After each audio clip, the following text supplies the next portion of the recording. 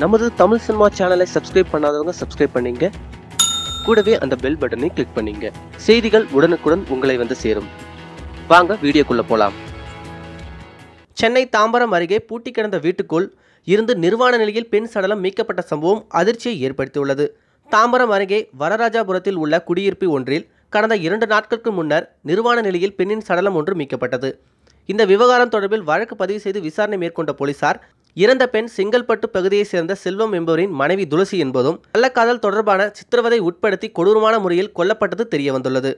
தாம்பரம் அருகே இது குறித்து பெண்ணின் சடலத்தை மீட்டபோது அவரது கை கால் கட்டப்பட்ட நிலையில் கொடூரமான சித்திரவதைக்கு உட்படுத்தியிருந்தது தெரியவந்தது. தற்போது இந்த கொலையில் கள்ளக்காதல் மட்டுமா அல்லது வேறு ஏதேனும் காரணம் உள்ளதா என போலீசார் விசாரணை மேற்கொண்டு வருகின்றனர்.